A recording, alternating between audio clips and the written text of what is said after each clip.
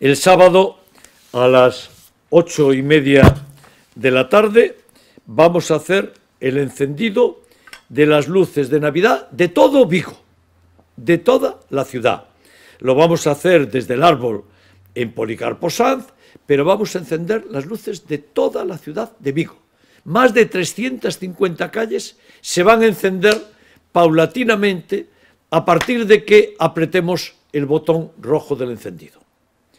Por eso, eh, primero apretaremos el botón y se encenderá una parte de la zona centro, unos minutos después el resto y después se irán encendiendo eh, consecutivamente pues la zona de Balaídos, se irá encendiendo la zona de Bouzas, la zona de Calvario, la zona de Lavadores, eh, la zona de Teis, cada una de las, de las parroquias de Vigo, muchas van juntas, y que se van encendiendo pues a lo largo de los siguientes minutos. Ya alguien me contaba ayer una anécdota que era el encendido del año pasado y de hace dos años, y parece que pasó, ¿no? Y era alguien que estaba en, en la zona central, en el encendido, y entonces, y, a través de, Televigo, que lo, que lo televisa, ¿verdad? Vieron el encendido. Y vieron el encendido en la zona del centro. Y entonces rápidamente, allí en su zona no se encendió. Esto era, era colla. Y en su zona no se encendió. Entonces llamaron corriendo a alguien, a los que estaban ahí diciéndole, avisar que aquí hay una avería que no se encendió. E inmediatamente otra segunda llamada que sí, sí, ya se encendió, ya se encendió. Porque el encendido va siendo consecutivo. Pero se enciende todo en ocho y media y siguientes minutos. Y muchísima gente se queda en sus calles para ver el encendido. Desde las ventanas, desde las casas, desde las terrazas, desde la calle, desde la acera, porque vamos encendiendo todo Vigo. Y por eso se puede ver el encendido de cada una de las calles y de cada una de las zonas. Pues en las parroquias que encendemos, encendemos la zona de centro de la parroquia, normalmente la iglesia, las asociaciones culturales, la asociación de vecinos, la zona eh, más central de la parroquia, pues también se enciende. Pero encendemos la Plaza América, encendemos Colla, encendemos Teis, encendemos Travesía de Vigo, encendemos Corusio, encendemos eh, eh, Bouzas, encendemos Calvario, encendemos Lavadores y todo va, cada uno pues aproximadamente un minuto, porque se tiene que ir encendiendo cada una de las zonas. Y entonces está todo preparado, pero hay unos pequeños minutos de decalaje. Por tanto, a las ocho y media de la tarde encendemos todas las luces de Vigo. Por tanto, los que quieran que vengan a ver alguna zona concreta y los que no, que se queden en su calle y que asistan, asistan al encendido de su calle.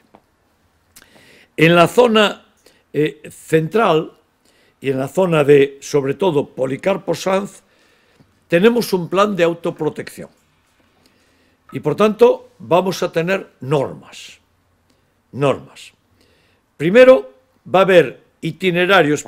Primero, permitirme que os enseñe eh, los gráficos. Esto es el plan de autoprotección en la zona turística centro.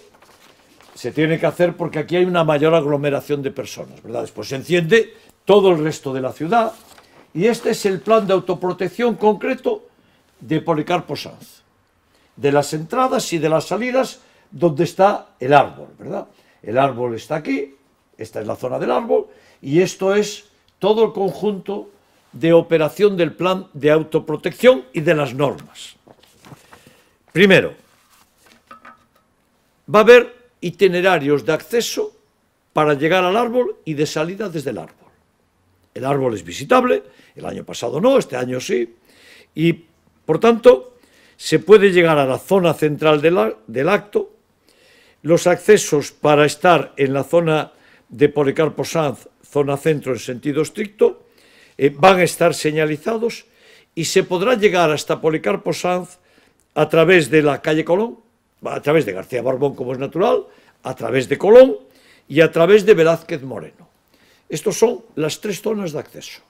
No se podrá entrar por ninguna otra zona. No se podrá entrar por la parte de atrás del árbol, eh, la zona eh, cercana a la Puerta del Sol, por ahí no se puede esa va a, ser, zona de salida y no se podrá llegar desde, eh, desde la calle Príncipe solamente por Velázquez Moreno. Así que, primero, los accesos van a ser por estas tres calles, por Velázquez Moreno, por García Barbón y por Colón, ¿vale? Por la zona eh, final contra Colón de Policarpo Sanz. Insisto, que va a haber una zona de salida. Y la zona de salida de la gente que venga a visitar el árbol, y pediremos que haya un poquito de, premura en salir pronto del árbol, porque mucha gente querrá venir, allí habrá gente ordenando todo esto. ¿eh? Pero eh, se saldrá por la parte de atrás del árbol contra la zona de Puerta del Sol y se podrá bajar por Darío Álvarez Blázquez, por la calle que está al lado del centro García Borbón. Una es Reconquista, que va a estar cerrada, y la otra bajada eh, hacia la zona más, más baja de la ciudad, hacia toda la zona de la Alameda, hacia la zona de Marqués de Valladares, por ahí será la zona de salida. a su vez, Policarpo Sanz y García Barbón, desde donde se ve el árbol, va a estar dividido en sectores. Vale, va a haber en total siete sectores, siete zonas, desde el árbol hasta el muñeco, digamos, hasta la zona de la, de la Escuela de Artes y Oficios, dividido en siete, en siete zonas, siete sectores. Tres son Policarpo Sanz, el más cercano al árbol, el siguiente y el que da eh, eh, contra Velázquez Moreno. Dos entre Velázquez Moreno y la calle Colón. Y dos en la calle, entre la calle Colón y la calle Pontevedra. Y van a estar vallados, porque dentro de cada uno de estos sectores solo puede haber 500 personas. Por tanto, habrá un primer sector más cerca, habrá una zona reservada para prensa. Después vendrá un sector de 500, más cerca del árbol, vallas, otro sector de 500, vallas, otro sector de 500, vallas. Y después ya eh, eh, Velázquez Moreno hacia Colón, eh, dos sectores de 500 en los dos laterales, también con vallas, y después calle Colón Pontevedra, otros dos sectores de otras 500 eh, personas. Por tanto, allí habrá siete de, de, 500 personas, que son unas 3.500 personas. y el resto, que esperen en las inmediaciones, porque tan pronto el árbol se encienda, la gente empezará a pasar por el árbol y ya podrá ir todo el mundo entrando de forma ordenada. Va a haber personal informando al público cómo circular por esta zona, por la megafonía eh, iremos también eh, informando. Y después eh, vamos a tener una fuerte atención sanitaria, cuatro ambulancias sincronizados con autoprotección y con el 061, va a haber 80 efectivos de protección civil, va a haber policías y va a haber bomberos. Y después debo decir que durante toda la Navidad y en la zona de mayor afluencia va a haber un puesto de socorro permanente en la calle Princesa, va a haber un botiquín portátil al lado del árbol en Policarpo Sanz. Y después habrá una ambulancia 33 días en los que esperamos que haya eh, más afluencia. Bueno, eh, la obra de la Puerta del Sol eh, se va a paralizar en zonas y, se van a hacer eh, tránsitos posibles por la Puerta del Sol. De tal modo que la Puerta del Sol va a estar ya diseñada de forma distinta el día del encendido.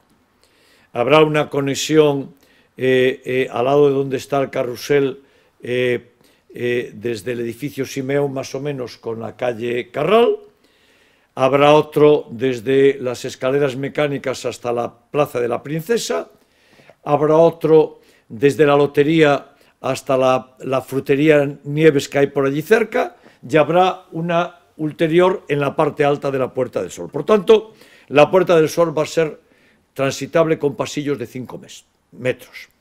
Vamos a poner y más, más, más ancho en prácticamente todo el recorrido que hasta ahora circunvala la obra de la Puerta del Sol.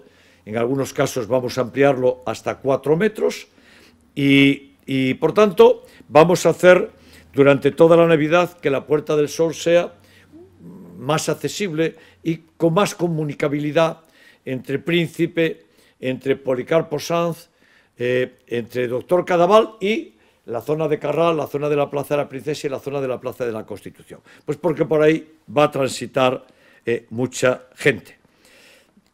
Y, bueno, pues ya lo diré el día anterior, pero eh, que todo el mundo se prepare a ver las luces más bonitas, más hermosas y más extraordinarias que vieron nunca en su vida.